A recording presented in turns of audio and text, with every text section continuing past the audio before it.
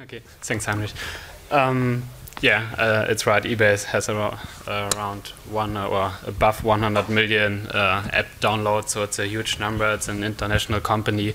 Um, but I want to use this talk to not too specifically talk about yeah how do we launch in different markets, how do we do it from the kind of Scrum or Kanban processes, um, just to have some expectation management. We are, our office is here based in in Berlin. You can always talk to us if you're really interested in how we do software development, how we want to um, roll out our, our global products that are primarily released in the uh, or developed in the US. So just just come to us and speak directly so we can go into the specifics. I guess for Wednesday afternoon session, let's try to make it a bit uh, lively. So if you have any questions, just um, raise your hand and um, yeah, and ask what, whatever you want. And this can also be like really eBay process specific.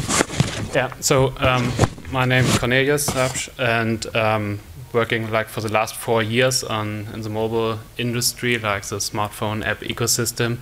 And this talk is primarily meant to kind of conclude whatever I learned with releasing for uh, non-German markets, releasing global uh, global products, and um, yeah, let's start um, this way. So, what's interesting? Um, beginning of March, I guess everyone knows Lars Hinrichs. He's like uh, the founder of uh, Xing and also having like a famous incubator, um, Hack Forward, and he was asked like, what okay, what are successful companies in, in Berlin? And um, he said, oh, they are not really successful company looking at an international level. It's more about yeah, hipster companies. That's, that's a crazy statement, and um, I hope you all disagree. Of course, there are companies like SoundCloud, um, Wooga, uh, ResearchGate, and Zalando, and uh, see some guys from Kaufda, my former employee, that also released products in uh, Russia and Brazil and Spain and France. So um, there are definitely great success stories here. And but that's a good good statement. So what does it really mean to be internationally relevant? And uh, I'm not sure how many of you like um, develop for a global market or at least a non-German market, maybe raise your hand whoever is having like a global or saying having a global product. Okay, that's I would say 70 70 percent. That's that's pretty high. Um, so I'm always wondering what it what does it really mean uh, to have a global product. And um, but yeah, if Lars Hinrichs is saying everyone has to do it, let's let's go global. And so let's look at some uh, companies and um, the different approaches and what does it really mean to be local. Uh, Yandex is uh, having their, their booth here and we all know that Yandex is dominating the Russian search market. It's not Google. And um, Mercado Libre, I'm not sure if you heard about it, it's like the uh, biggest um, auction uh, classifieds player in Latin America and Brazil, and um, even Amazon is, does not have a presence in in Brazil. Uh, I think not for the regular online shop. Um, Zalando, everyone knows it. They're crazy about it here in Germany. I mean, they're selling shoes en masse, uh, and uh, of course they also have European presence, but they are not known in the in the US. And this story goes on and on. Craigslist, they are dominating the US market. Everyone knows it. Of course, they have like, you can access classifieds, uh, Craigslist here in Germany, but it's eBay Classy, uh, Kleinanzeigen that's dominating the market. And so you see this is an ongoing story, and even um, Xing that Lars Hinrichs found. Yeah, we, we, we know it in, in, in Germany, it's pretty famous, uh, maybe in some other countries as well, in, in Turkey or wherever. Um, but yeah, in the US, it's definitely LinkedIn. Um, so you see, it's all about having strong markets or strong core markets and then figuring out what are uh, other markets that could be interesting. And so we know, okay, we want to go global, reach millions of users. So, and maybe as an indie developer, it's so easy to release to the Play Store and get like this huge distribution. Um, so how, how should I start? What, what's the right market? Where should I go? And if you look like the most popular uh, mobile markets, like looking just at iOS and Android device distribution, including tablets. Um, there was a nice study by uh, Flurry, and so you can clearly see why everyone is saying, yeah, we want to go global, which means we want to be present on the on the US market, because yeah, it's eight times the size of uh, Germany, so there seems to be some potential. But yeah, it's still like 5,000 kilometers away. Um, that's a big disadvantage, and you can, in a similar way, choose to go to China if you want. Uh, if it's um, maybe it's harder to to approach or to go there and to really understand what the difference is. Um, but at least it's a um, that's why we are all saying yeah we like all these global companies like Google, Facebook, eBay. They all operate internationally. Yeah, but they're having strong core markets and always one strong core market being the the US. And of course, we we like to have like the sparring partner in Silicon Valley and uh, that are challenging uh, our German companies. So what is it all about? I mean, do we really want to have a global product reaching every user in the world or like every smartphone, every Android user? Um, I mean, of course, we're always afraid of uh, the fear of missing out, uh, FOMO, how it's called, and you're always missing out. I mean, that's uh, that's uh, how it's um, how it goes. And there's an interesting perspective on it. I mean, if you're looking at the top revenue uh, making applications, just like App Store revenues, in app purchases, paid applications, the top grossing applications, I guess some of you have like paid applications or applications with in app purchases and always follow like, yeah, where, where I am, how do I compare against the other top applications. Um, Distimo did a nice study looking at the uh, like most important companies from a revenue perspective. And surprisingly, I looked at it and said, "Wow, the first five I couldn't uh, could not even read, uh, or yeah, uh, four out of five." And well, what's go what's going on there? And the first one being Puzzle, uh, Puzzle and Dragons, and I, I, don't know it. Maybe I guess some of you definitely know it because it's uh, has been like the top grossing app in in Japan on iPhone for a year and on Android for more than 180 days. Um, so there must be something behind it, and I guess this app or huge company is generating hundreds of millions, uh, so there must be uh, kind of relevance. So be warned that you're always missing out on, on something, and you it's hard to reach the top positions, or maybe we are having like a very US European centric point of view, and um, yeah check out the first five games, puzzles, or social, whatever it is. Um, that's definitely a, a good thing to know. So this is like the general market background. I mean, of course, there are different markets, different opportunities. Um, but how does it look like if you're trying to make this a reality? What are the like the biggest biggest issues that could arise? Um, so let's take a look at some best and worst practices like in the last years, whenever I looked at like uh, global products or products that have been adopted to the German market, there always like things appearing now. It doesn't work here. It doesn't make sense. The content is bad. So it's more like having a really active view on um, on the differences on the market. And now with my role as like a product manager for the eBay mobile apps and uh, mobile websites with really a German perspective, uh, it's definitely changing how you look at products. So I mean, the first thing that comes up to mind whenever uh, every one of you are looking at, yeah, let's go international. So how does your brand or your um, yeah your company name fit to an international audience?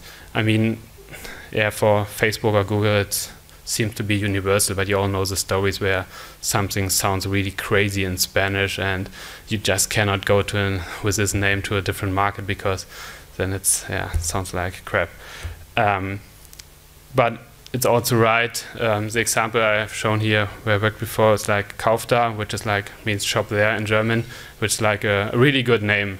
It means yeah you can see what offers are available and go to the store. So shop there, and it's perfect. People people love it. People understand it. But it's hard to do like uh, internationalization with uh, this kind of name. So, but there's always opportunity. Yeah, to to adapt to different company brand names, and um, you see on the on the right, on the middle and the right side, like the Russian and Spanish um, adoption, even different colors, but then basically the, the same product. So it's always a good way to go if you're unsure if like uh, this fits to if your company or app fits to another market. So this was also the case with like the Puzzles and Dragons one that I showed. They have different titles in in Korea and Japan and uh, for an international audience. Um, so something really important to consider. I mean, that's the first impression you make, like your brand, your your first screen, your appearance. Um, but then the second step is always like the, the language. I'm often surprised um, to use like US applications and then yeah see just um, I mean it's maybe a mobile problem but I use like an iPhone 5 to take the screenshot so it's a state-of-the-art device with like good resolution and still it's like uh, a lot of icons being yeah you cannot really read it and um, yeah, you have always a long German words, and you, you, you know it, I guess, from your experience that um, the French language, the, the German language are um, always a bit uh, longer, and uh, in Germany we have a lot of funny names too, yeah, that are really long and kind of it's one sentence in one word. Um, of course, we uh, as mobile uh, developers we should avoid it. Uh, maybe going with some more icons and um, but be aware of this problem. And another thing is um, the typical, we call it Denglish, like mixing German and English. Um, it's like the, the current Foursquare version, or I think they maybe released something the, the last days. Um, it's like mixing German, German and English in, in funny ways. It says like currently closed and save your save to do to your to do list, and um, then but the application in general is in, in German, so it's like mixed and it's Foursquare. I guess everyone knows Foursquare, and they should have some money to and some focus on maybe one of the top mobile markets in general and some uh, adoptions. Um, so language is definitely something to be aware of. Of course, you can use Google Translate as a first approach to get a feeling how it looks like, but um, because it doesn't work to just use English and say, yeah, I I have an English uh, version of my application, so it's international, it's global. Uh, doesn't work for the German uh, customer. Maybe as a for for for maybe not even for GitHub or something very technical where like everyone understands English. So still people want to have their the German language and they and they like it. Um, so yeah, Google Translate is uh, uh, is an is an option, but please have some native speaker uh, review the whole the whole thing and make sure that in the process you you know you have like um, some content expert, some content strategy to really make sure that uh, new strings that are appearing in development are uh, handled by someone or at least some native speaker looking at it, especially all the edge cases. But I, I wouldn't call like save to do to your to your to do list an edge case. Um, maybe just um, just ignores. I think some other companies having approaches where it's like crowdsourced, um, everyone can help with the translations and make sure it stays consistent and it's uh, not, or some users are maybe missing out on some strings or the crowdsourcing approach is missing out on some strings and then, then you're lost. Um, so it seems so easy, but yeah, just, just be aware that uh, language adoption is really important. Um, speaking specifically about the German market, it's pretty obvious that the next slide must be about uh, privacy laws and uh, Germans, uh, the German market being really complicated. Um, or maybe let's ask a question: Who's from outside of Germany? Oh, that's that's good. So I can teach you how to optimize for the German market. Then it makes all sense. Um, so in Germany, yeah, the Germans are very concerned about their privacy because of historic reasons with the with the GDR and being a surveillance state, and maybe because of their serious nature. Um, they I'm, I'm German, um, obviously. Um, they they even demolished some Google Google uh, Street View cars. So um, at this point, it was clear that you have to be careful when like releasing a product like this in a, in a new market. Um, that you have to to know the, the, impact. I mean, it started like everyone was allowed to blur their houses. So I think three percent of the Germans they blurred their houses and whole streets were blocked out of uh, Google Street View. And uh, not sure if Google still like um, I think they stopped at one point for the German market to drive around with these cars. Um, yeah, that's that's a really uh, a crazy, a crazy, a crazy product for that's like opening up a whole bottle uh, um, of problems. Uh, but at least in the end, it worked. It, it's pos it's possible. Um, so, how do you um, yeah, maybe one one point for like third-party um, libraries and the German privacy law.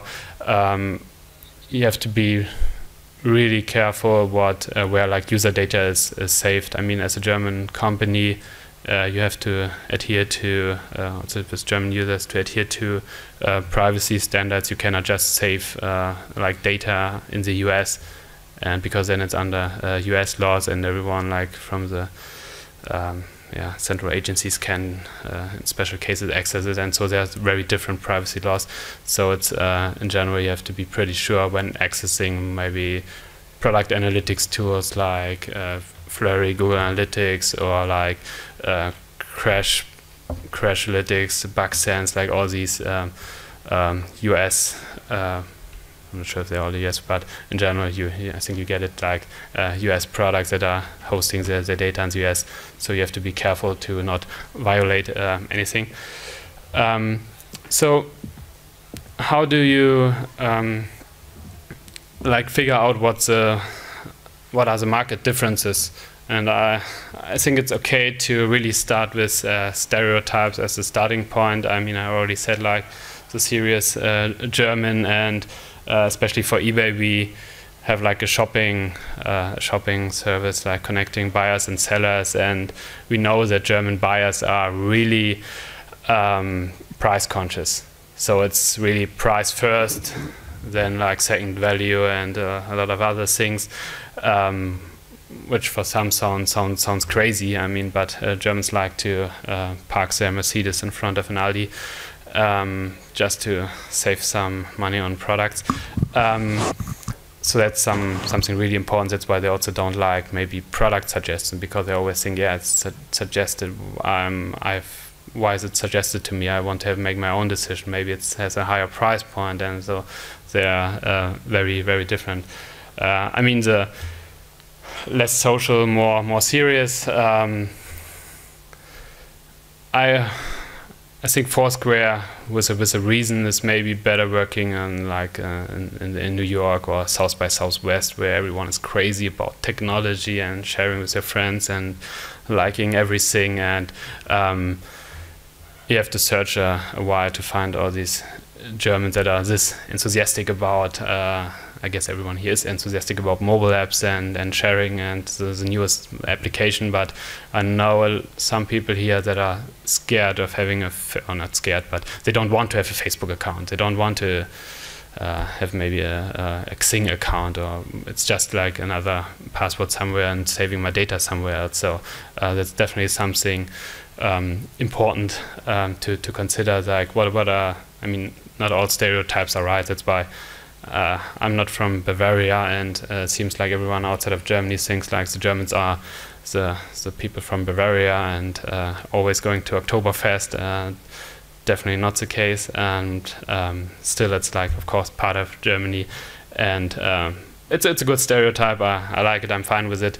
Um, but maybe that's not the, the typical German users, and uh, Germany is a bit bigger. But at least it gives a good uh, direction uh, what you can do. And the same the same holds true for like the uh, uh, Americans or French persons or British, and uh, that's where you can start. And there are big differences from what we see in our in our data and how we optimize for for different markets to really do a lot of market research, usability labs, user research, and it's often surprising to see so many differences.